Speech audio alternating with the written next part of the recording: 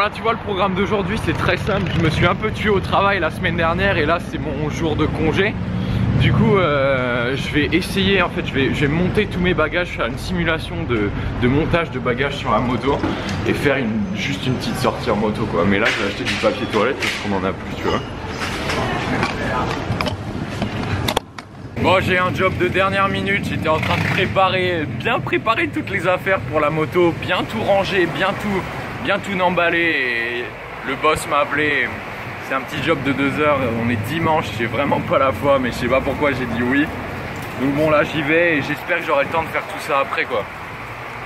Ouais. Bon j'ai regardé, le job devrait pas être trop long. Et euh, voilà, c'est un truc qui va durer deux heures, c'est une vieille dame. Bon, il y a deux adresses où on doit, on doit charger le camion et une adresse où on décharge tout. J'espère que ça va vite se faire quoi. En tout cas, ce qui est sûr, c'est que demain et après-demain, je bosse pas, il n'y a pas moyen. Euh, j'ai envie de faire cet essai de chargement de moto, donc euh, ouais, c'est mort quoi. J'ai assez bossé là, tu vois. Bon, allez,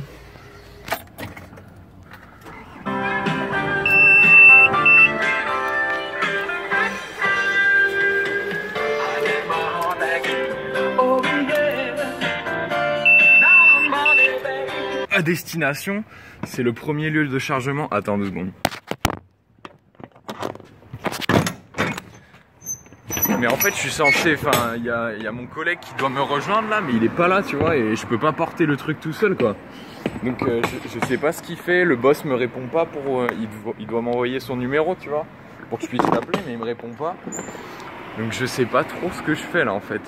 Enfin, je peux clairement pas soulever tout ça tout seul, quoi, tu vois. Je sais pas.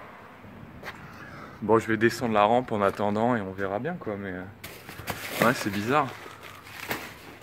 Bon, tu veux connaître la meilleure? Je viens de me faire virer. Ouais. Attends, je, rentre, je, ramène le camion et je te raconte ça. J'étais pas censé bosser aujourd'hui parce que tu sais j'ai travaillé toute la semaine dernière, j'ai fait littéralement une semaine de, 7 jours quoi. Et euh, chaque fois c'était genre 10-11 heures de travail. Et euh, j'ai dit à mon patron que j'aimerais bien quand même travailler encore deux jours, lundi et mardi. Euh, parce que je comptais partir dans la semaine, mais si je pouvais toujours travailler un petit peu, ce serait pas mal, quoi. Ça ferait de l'extra monnaie et tout. Mais aujourd'hui, j'étais censé être off. On est dimanche. à midi, il m'appelle. Hi Gun, can you do me a favor? Can you do me a favor? Est-ce que tu peux me rendre un service? J'étais pas chaud du tout. Je voulais faire mon truc à moto. Je voulais préparer un peu, voir comment, comment, euh, comment, ouais, charger la moto et tout. Mais bon, je lui ai dit oui. Et euh, en plein milieu du job, à un moment, euh, je reçois un message pour demain, du coup en disant que voilà, euh, tu, enfin un message de job quoi, je devais bosser le lendemain aussi. Et je lui envoie non, je lui envoie non, je lui dis I'm sorry but I can't work. I wasn't supposed to work today and I didn't have a day off, so I really need a day off, you know? J'ai besoin d'un jour de congé, même si je reste même pas, même pas plus de trois jours ici. Et là, il pète un plomb, il me dit ouais, mais tu m'as dit que euh, tu voulais bosser au maximum et tout et machin. Je dis ouais, je t'ai dit ça, mais j'étais censé être en congé aujourd'hui et je t'ai fait une faveur, donc tu peux peut-être me faire une faveur aussi, tu vois? Je veux dire, euh, c'est pas ton problème, mon compte en manque. Je sais gérer mon argent, je sais quand j'ai besoin de travailler ou non, quoi.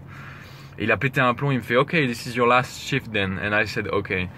Et tu sais, la, la leçon là-dedans, c'est vraiment que quelque part, je suis vraiment reconnaissant parce que ça me demande, ça m'a donné le coup de pied au cul dont j'avais besoin pour partir réellement. Attends, j'enregistre là ou pas? Ouais. Ça m'a donné le coup de pied au cul dont j'avais besoin pour enfin partir, prendre la décision. Maintenant, j'ai plus de job. Et euh, la vraie leçon là-dedans, c'est que il faut toujours se méfier un peu des gens parce que je savais qu'il était un peu chelou. Tu sais, c'est le gars qui a viré Nico aussi. Et Nico m'a dit dès le premier jour, tu sais, Nico, il a un, sens incroyable pour détecter la vraie nature des gens. Et dès le premier jour, il m'a dit, ce mec-là, je le sens pas. Et il s'est fait virer deux semaines plus tard euh, pour un truc très très bancal.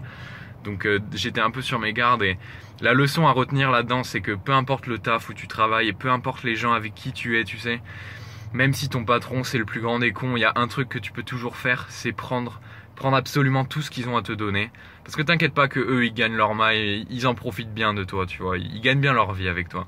Mais toi, il y a quelque chose que tu peux prendre, c'est euh, et c'est ce que j'ai dit, c'est que c'est pas grave si je me fais virer parce que j'ai pris quelque chose qui n'a aucune valeur et qui a beaucoup plus de valeur que tout l'argent que tu as gagné avec toi.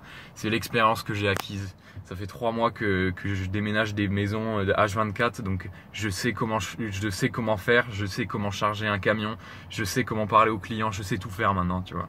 Et ça, ça a pas de valeur.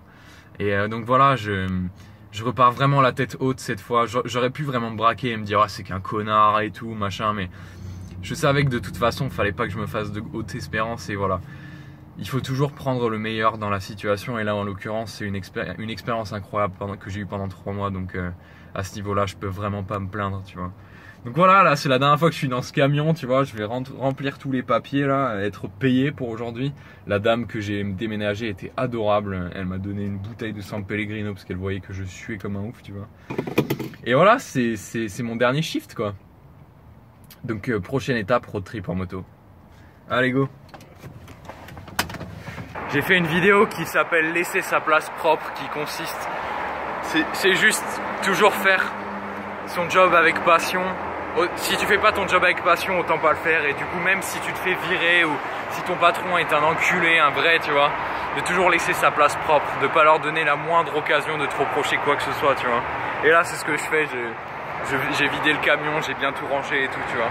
Histoire de partir la tête haute, la tête sereine, quoi.